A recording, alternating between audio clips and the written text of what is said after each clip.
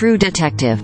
Night Country, ended its run on Sunday with a finale that drew 3.2 million viewers to HBO and its streaming service Max. An impressive bump in viewership from the 2 million who watched the season premiere in January, making it the latest hit show that first needed time, and word of mouth, to find success.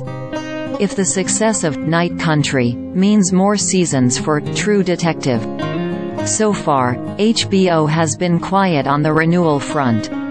With 12.7 million average viewers per episode, Night Country has become one of HBO's most popular seasons in recent history, beating the second season of The White Lotus, 10.1 million, the final season of Succession, 8.7 million, the first season of Euphoria, 6.6 million, and the first two seasons of Game of Thrones, 9.3 million and 11.6 million. The show still falls to Game of Thrones, which drew between 14.4 million and 46 million viewers in its last six seasons. The Last of Us, 30 million, and Euphoria, Season 2, 16.3 million viewers. Word of mouth success can be an organic form of growth, but it doesn't mean it's not also driven by curated marketing strategies. With Night Country, HBO debuted billboards on both coasts that were frozen in ice and later melted to expose messages related to the show. A hand-painted mural was debuted in Los Angeles and the studio advertised during high-visibility NFL playoff games. The billboards were seen by hundreds of thousands of people in New York and Los Angeles, according to Adweek, and the mural drew an additional 768,260 impressions in its first two weeks.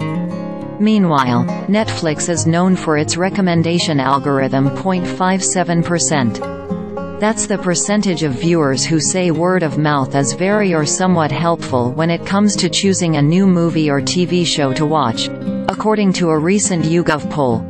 True Detective, first premiered in 2014 starring Matthew McConaughey and Woody Harrelson. Critics and viewers alike loved the first season and it earned dozens of award nominations, including at the Emmys, where it was nominated for Outstanding Drama Series, while Harrelson and McConaughey were both nominated for Outstanding Lead Actor, and the show received writing and directing nominations.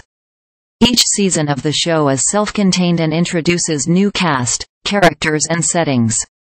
The second season, starring Colin Farrell, Vince Vaughn and Rachel McAdams in 2015, was not met with the same acclaim as the first, nor was the third season, which premiered in 2019 starring Mahershala Ali.